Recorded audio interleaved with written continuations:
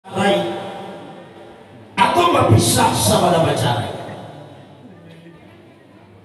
kalau dalam rentang waktu 11 bulan ke depan ini rezeki kita masih ada agar kita belum sampai. Insya Allah kita masih punya harapan besar untuk bertemu dengan Ramadan tahun yang akan datang. Tapi sebaliknya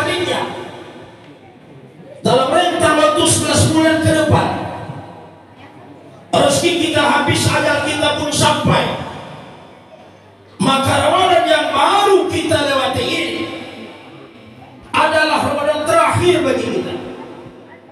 Maka kita tidak pernah lagi bertemu dengan Ramadan karena kita sudah wafat. Hadirin jemaah yang muliakan Allah.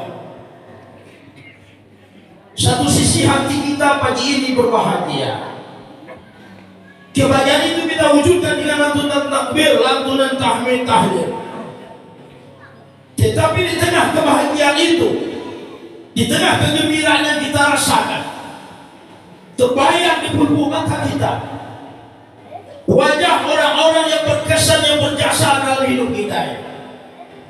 Di antaranya mungkin ibu kita. Seandainya ibu kita masih ada ini Dia merasakan bahagia itu bersama kita. Maka kita akan cium tangannya yang keriput Kita akan peluk tubuhnya yang rapuh. Tapi tidak semua kita masih punya ibu Tidak semua kita masih punya orang tua. Maka sedih perasaan kita. Ketika kita bayang wajah ibu kita. Pilu perasaan kita.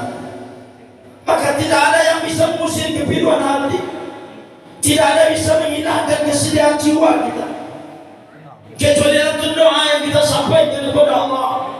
Allahumma gfir lana dhunubana wa liwalidayna Ya Allah ya Tuhan ampunilah dosa kedua orang tua kami ya Allah. Karena Rasul mengatakan di dalam hadisnya Iza turkal abdu du'a lil walidain apabila seorang hamba meninggalkan doa untuk orang tuanya maka Allah susahkan rezekinya. Allah sempitkan hidupnya.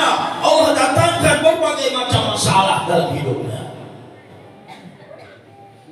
Mungkin kita tidak semua punya bapak.